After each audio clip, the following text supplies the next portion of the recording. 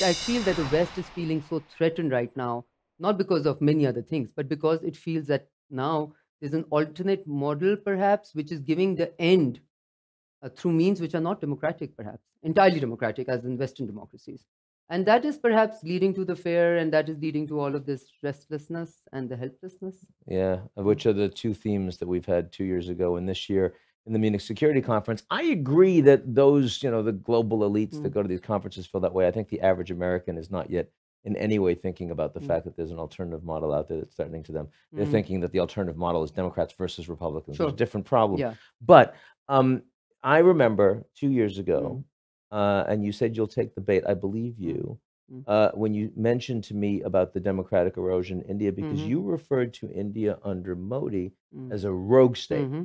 India is now becoming the bully for the entire region and is actually going against every international commitment and, frankly speaking, regional commitments and bilateral commitments it made to Pakistan by what it did in Kashmir. Now, when you do all of that, what do you become? You become a rogue state.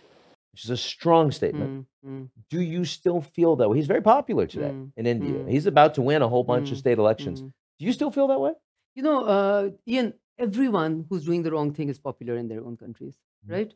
So this, you know, this whole theme of helplessness, mm. and we talked about it in the main session. Yeah. That helplessness felt by people, by the by, by the electorate, okay, creates this demand for someone coming in with an alternate system. So India, a secular, developing country with strong democratic credentials, and here comes this person who gives an alternate uh, route to India, okay, which is non-secular uh, for sure, India, you know, since we talked, by the way, there has been the Citizen Amendment Act.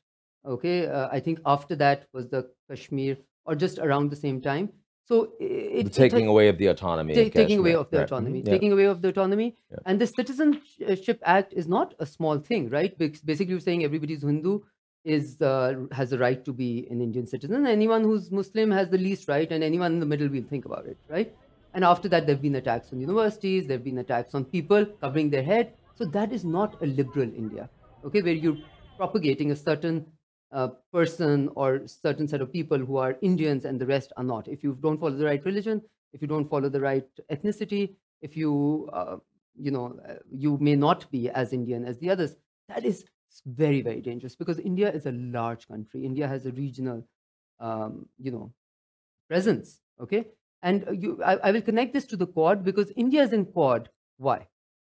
Or you know, suddenly why has the Quad come up? Because all everything that is happening in the world, or at least our part of the world, has to do with containment of China. That's and I'm going to stick to my, you know, I'm going to stick to that position because pretty much everything that is happening around our region, where the West is involved, where the US particularly is involved, all of it is coming in from a fear of China, from a containment of China policy. And India today can get away with murder, and the West would look away because they need they, they look at India as the only alternative uh, to containing China within the region, embroiling China in some ways.